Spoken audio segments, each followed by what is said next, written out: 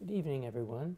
Tonight I'd like to give you a couple of ideas on how to create a warm, gentle tone, and I thought, what better piece to do it with than When You Wish Upon a Star. It's from the movie Pinocchio, Disney movie. And you have to be able to dream to be able to play a piece like that. And it, your tone can't sound forced or harsh. It has to be tender and gentle and warm. So if your hand feels anything other than nothing, it's going to be forcing the sound, and you don't want to force the hammer in any way. So you want to be able to use gravity and flop through, and then just at some point brush the key or pluck it. Just for hear the tone you want in your head first, and can be magical. So when you think of a pulse, if you think of the car safety belt bell that goes off when you get in the car, if you haven't done up your belt, gong, gong, gong, gong, gong. It's so regular. So the time between those bells is a fixed thing, and you have to be able to set that in your head as a fixed amount of time. And then if something happens on the bell, then that's great. If it happens halfway in between, it has to be exactly halfway in between.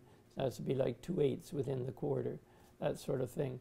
So you have to be able to keep the pulse, have dynamic range, and have this smoothness and this gentle tone.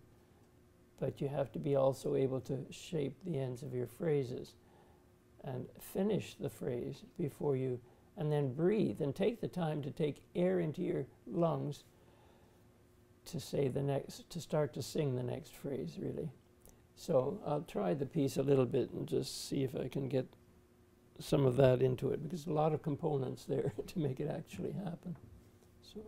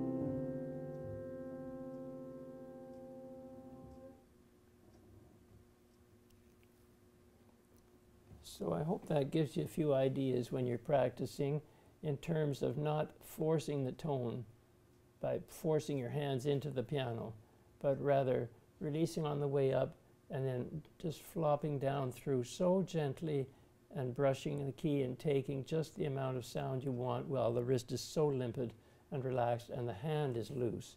If you can just say before you pass through that zone, relax my hand. Then when you go to play it, it can be as magic as you want. It's including the back of the upper arm. It's your whole body. It's everything. And it's wonderful to practice like that because then you're really listening to your music from your soul, from the way you sing it. And that's, that's when you start to be able to be creative in your playing. So anyway, I hope that gives you a few ideas for tonight. And uh, we'll talk to you soon. Have a good night. Bye-bye.